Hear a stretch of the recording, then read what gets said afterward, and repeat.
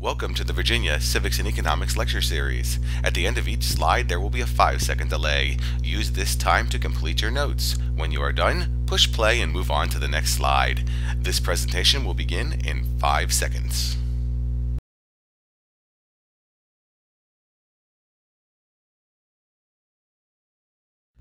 Welcome to Virginia Civics and Economics Lecture 1.1, Introducing Civics and Economics. My name is Matthew Rossettini, and I am the luckiest civics teacher in the United States of America! I teach civics and economics here in Virginia, the place where it all started. In 1606, a bunch of intrepid entrepreneurs founded the Virginia Company of London, and one year later they sailed here to Jamestown, Virginia, where they promptly failed at everything they tried to do. But while Jamestown is the first company in North America to be bailed out by the government, in this case the British, they also left us two important legacies. The first is representative democracy. It's here in Jamestown that we get our first representative government, and that forms the foundation for American civics. We also get modern economics. Our friends in Jamestown bring economics from England and establish American economics here in Virginia. So thank you, Virginia Company of London. You have made me the happiest teacher in North America. Go to the next slide.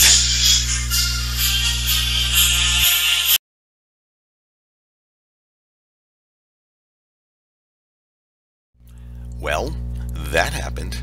But while I might be the luckiest civics teacher in America, you should be asking yourself one question at this point. Who cares? I mean, how does this impact you, civics and economics? Well, you see, we live in a unique society because unlike in a lot of places, how our society works depends entirely on how you understand civics and economics. So you need to understand how you fit into our society in order to be a productive citizen. Well, to do this, you're going to learn two things. The first thing you're going to learn are the basics of civics and economics. You're going to learn about the requirements and the responsibilities of citizenship, the role of the Constitution, your role in the economy, the political system. How do people actually get elected and how do you influence our government? our government, federal, state, and local government, the impact of the rule of law, that's the courts, and becoming financially literate. But that's only part of understanding civics and economics. You also need to understand three important themes. You need to understand our political philosophy, what all of this is built upon. Thomas Jefferson, John Locke, James Madison, these are the folks who set the foundation for our government. You need to understand how we demonstrated our consent to be governed, and we find that in the Declaration of Independence, and you need to understand how we implement our consent through the Constitution. It's not enough to know the basics of civics and economics. In this class, you're going to understand how these three central themes impact all of these basic civic and economic concepts. And if you can do that, you will be a highly productive member of our society. Go to the next slide.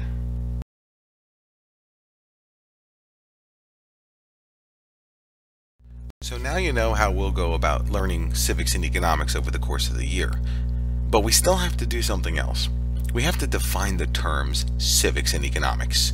Civics is the study of the rights and duties of citizens and of how government works. Civics is a discipline of social science, which generally focuses on the social life of human groups and individuals. So we're going to learn all those things we talked about when it comes to our government, but we're also going to learn about how being a good citizen is cool because that's also an important part of living in the United States.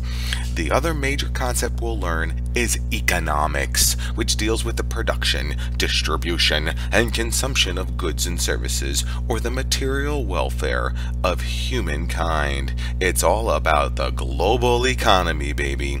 So here's the thing like I said, you need to know those themes, but you also have to understand that in this country, you need to understand economics to be a good citizen.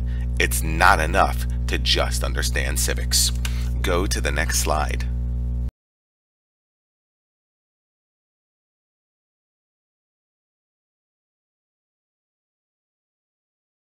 Now that we've defined the terms civics and economics, we need to understand the basic principles of each concept. So let's look at the basic principles of civics. The first principle is consent of the governed. The people are the source of any and all governmental power. You, me, your parents, and everyone else who lives in this country, we consent to be governed in a specific way.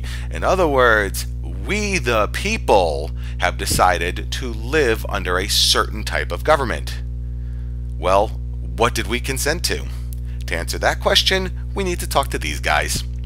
These guys are the founding fathers, and they decided that we would consent to live under something called limited government. Government is not all powerful and may do only those things the people have given it the power to do. And we set forth our government's power in the United States Constitution. We, the people, consent to be governed under a concept called limited government. But there's a third principle in civics, and we really don't talk about that principle enough. That is the rule of law the government and those who govern, as well as those who are governed, that would be you and me, the citizens, are bound by the law. And our rules of law are written down in documents like the United States Code and the Code of Virginia. We write down the laws so that everybody knows what the law is, and we all must follow the rule of law in order for our country to work. Go to the next slide.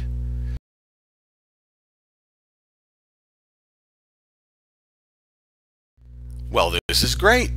We consented to be governed under limited government. The government's only going to do what we tell it to do, and everyone's hopefully going to follow the rule of law. And if there are those people who don't want to follow the rule of law, there's probably consequences. But we still have one important question to answer. Who is actually in control of our government? Well, to answer that question, we need to look at two additional concepts democracy and representative government. In a democratic system of government, the people rule. The citizens of that country rule, and the people control the actions of the government. But this occurs either through direct or indirect involvement with the government. You either live in a direct democracy or an indirect democracy. And to understand those ideas, we need to jump ahead in your education one year to World History 1 and talk about ancient Greece, specifically the city-state of Athens. You see, in ancient Athens, all citizens voted on the laws of the city, we call this direct democracy. If you were a citizen in Athens, you voted on the laws. There are over 370 million people living in the United States of America. Direct democracy is not going to work here. So, we use something called representative democracy. In the representative system of government, the people elect public office holders to make laws and conduct government on the people's behalf. This is different than in a direct democracy like Greece, in which all citizens vote or find consensus on policy issues. So, unlike in Athens, when I vote, and eventually when you vote, you're going to vote for somebody like a United States congressperson. That person will go to the United States House of Representatives and they will represent all of our interests when they make the laws. That's it for this lecture, and I look forward to seeing you in class.